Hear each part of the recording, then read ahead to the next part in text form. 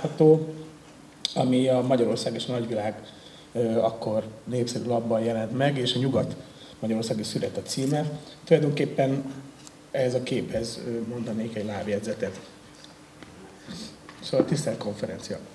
A szőlővel beültetett összefüggő gondozott területeket, a szőlőművelésre alkalmas határrészeket a magyar nyelvterületen elsősorban hegynek, hölgynek, szőlőhegynek nevezte a köznyelv.